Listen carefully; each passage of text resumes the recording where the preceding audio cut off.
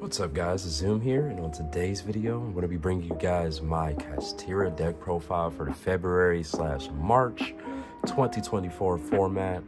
This deck is an awesome choice if you're wanting to play Rogue, if you don't want to play Fire or pay for Fire, which I 100% understand. And that's why we're doing this deck profile. Uh, you could definitely get some regional invites to nationals. Probably get away with maybe a regional top or two with this deck too. And on top of that, if you're taking this deck to locals, you'll definitely do pretty good if you know what you're doing. So without further ado, let's get into the deck profile. So to start it off, we do play triple Kashtira Unicorn. Unicorn is pretty much the heart and soul of the deck. Uh, this allows you to search for spells, go into combos, and just, you know, keep going. Uh, so you definitely got to play this card at three. Um, the other three of we play is Triple Riseheart. Uh, this card can allow you to extend and still utilize your extra deck um, as far as links go. Uh, so this card is really cool. A lot of people play this at like two or one. I like it at three because I like seeing more Kashtira names. Um, because seeing names is very important in this deck, in my opinion. Uh, then we do play triple Kashtira Fenrir. Uh, Fenrir is another card that's very important in the deck. Um, this card allows you to search a unicorn or any other Kashtira card, and it gives you interaction with your opponent. Uh, so your opponent has to deal with this card if this card is on your board, and it's also a instant out to SP Little Knight if that is on the board. So this card is definitely needed at three. Um, and then for the last Kashtira monster we we play one Scareclaw Kashtira. Uh, the reason I don't play Ogre or like any of the traps is because I personally feel like those other slots should be used towards hand traps. Um, if, especially if you're playing a lot of fire or a lot of you know meta decks uh, because against fire in my opinion you need at minimum two hand traps in order to actually affect that deck if you don't have those two hand traps, you're in a really bad position. Uh, so that's why I play the one scare call on Kashtira, and I don't play Ogre or any of the traps or anything like that. I just feel like that's the best route to go. Uh, and that's it for Kashtira Monsters. Let's go get, speaking of hand traps, let's get into hand traps. So I do play triple Dimensional Shifter. Uh, Obviously, a lot of people are going to give you a lot of hate for playing Dimensional Shifter, uh, but D-Shifter is kind of one of the only counters to this fire meta. Um, and the good news about this deck is even if you don't see this card at all, you can still win that duel because this deck has a lot of firepower behind it. Now, that's all I really have to say about D-Shifter. D-Shifter is D-Shifter. Your opponent can't use their graveyard. You can't also, but you don't care in this deck. You actually want your stuff banished.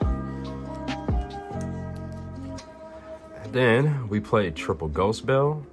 Again, my main focus is fire, but Ghost Belle hits more things than just fire. Ghost Belle is great against Voiceless Voice or any other deck that summons or uses utilizes the graveyard. Um, and if you time your Ghost Belle perfectly against fire, you'll probably stop their turn because they're not going to expect it to be in your actual main deck most people side this deck. Now, some people might expect it to be in your main deck. It all depends. But if you use this card at the right point in time against fire, now that all depends on what they've done so far, what board they've built, what cards you know they have, your knowledge, everything. It depends on what card you hit. Uh, but a great hit is probably always Flamberge Dragon. Um, and then Princess is a great hit also. Um, so it all just depends on what the game state is and what you know they have and where they're at. Uh, and then I do play triple Droll Lockbird. Now, Droll Lockbird is it kind of conflicts with Dimensional Shifter. So if you open this and Dimensional Shifter, obviously 90% of the time you're going to D-Shifter instead of waiting to activate Droll. Um, but if you're playing like a deck against Floowandereeze, um, this card just shuts them down. A lot of people are still on Floowandereeze. Uh, this card can also shut down Voiceless, and it can shut down the Mirror, depending on their hand. Uh, so that's why I still play this card. And like I said, you need multiple interaction against Snake Eyes, Fire Kings. Um, and if you don't open Shifter, you have this. Uh, you can you can activate Droll, and then maybe you'll have you'll probably have another interaction in your hand for that matchup to slow them down even more. Uh, and then speaking of more interactions, we do play triple um, Ash Blossom Joy Spring. Um, Ash is one of those cards where if you do it in the wrong place and they have more extension, you you just gave them a free extender. So you got to be kind of very careful of Ash when you're playing against Snake Eye. Um, but Ash is just so good of a hand trap that you just kind of have to keep it in your deck. You can't take this card out.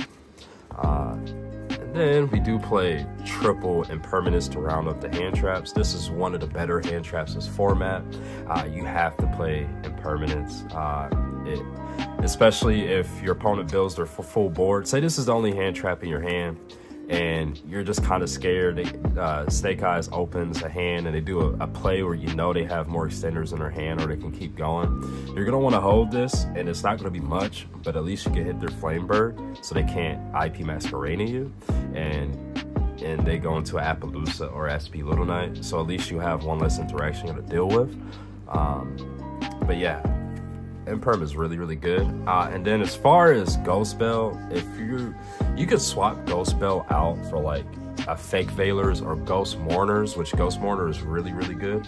Uh, this format, you, you can swap Bell out if you're not very comfortable main decking that. It's just me and my playtesting. I feel like Bell is amazing.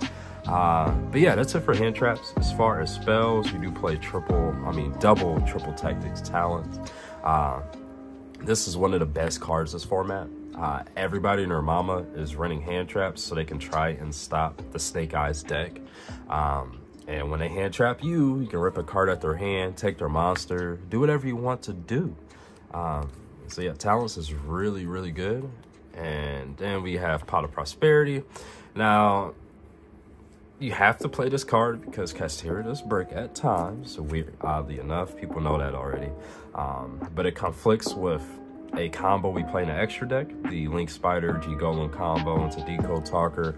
So you can't go into that combo if you play Prosperity, but that's okay because you rather your deck be more consistent than relying on that draw combo. Then we play triple pressure planet and one terraforming. So we play four field spells. Um, you got to play this card at three. Uh, adds a extra layer of consistency, and the terraforming just allows you to get this. Now, be aware if you have a hand that that you could play, and you don't need this card, and you have a terraforming in your hand, don't play in the drool. Just just play your hand out and then terraform at at the end of like your main combo. That way, if they have a draw, you'll still be okay. And then I do play triple Theosis. Uh, a lot of people play two. Uh, my theory of playing three is that if I open one Kashtira monster, um, I would like a Theosis to pair with it other than anything else. Um, just in case I get a Fake Veiler Imperm, Ash Blossom. I would love to have this card just in case they have an interaction. I only open one Kashtira monster. Um, so that's why I played three. And then obviously the last card, the deck is at 40 cards by the way. We played triple Kashtira Birth. Now, Unicorn is a heart and soul to deck, but this is also the heart and soul to deck. If this card was gone, you wouldn't be able to really play this deck. Uh, Birth allows you to normal summon level 7, allows you to special summon, allows you to just OTK your opponent under 5 summons. And that's it for the main deck.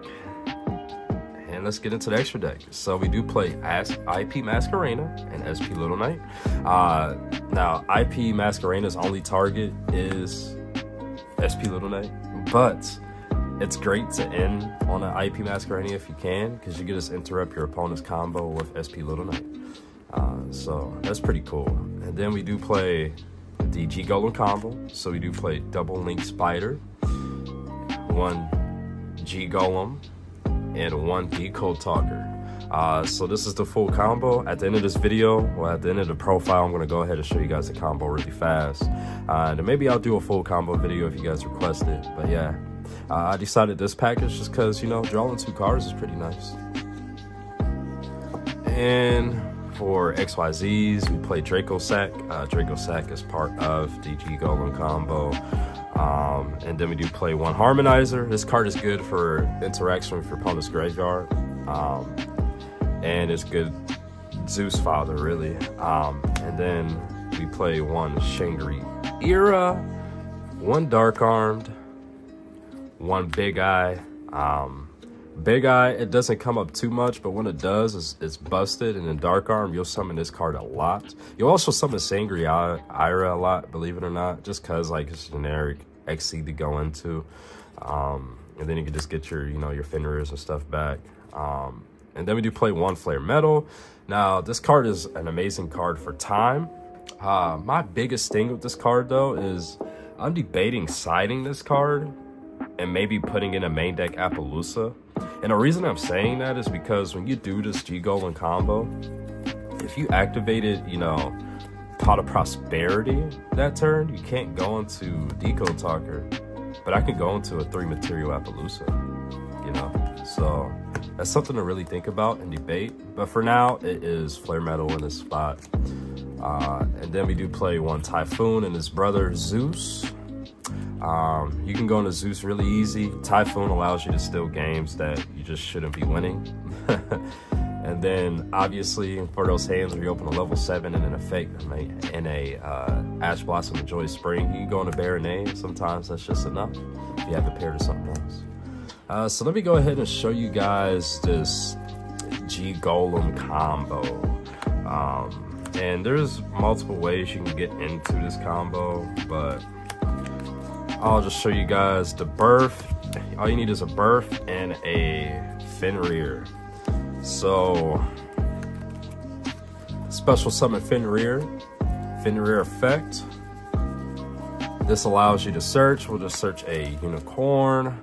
Uh, you'll activate birth. Birth allows you to normal summon without tributing. So normal summon unicorn, unicorn effect. This will give you a Theosis you'll exceed summon into Dracossack. Use Dracossack effect. You want to discard Fenrir here. Um, you'll get two tokens. Uh, I don't have, uh, do I have anything for tokens? Yeah, you'll get two tokens. Uh, you want to put your Dracossack in this zone, by the way. I'm just doing this really fast. You don't want to get, you know, animate or whatever. Uh, so here, you'll link off into a link spider where did I put it? Right here. So yeah, you'll link off into a link spider and then you'll link this off and you'll go into a link spider again. And then you'll link both the link spiders off into a G Golem. And then you'll G Golem as effect. It's a special summon your link spider. And then from here, you'll do that. You can go into a decode talker and I'll allow you to draw. But what I was talking about with Apollousa is you'll get to this point and then you'll link spider. And then what you could do from here is you could just go into a Apollousa. So that's something to think about. Well, I hope you guys liked and enjoyed the video. If you did, please feel free to leave a like and some comments down below. My name is Zoom. Peace.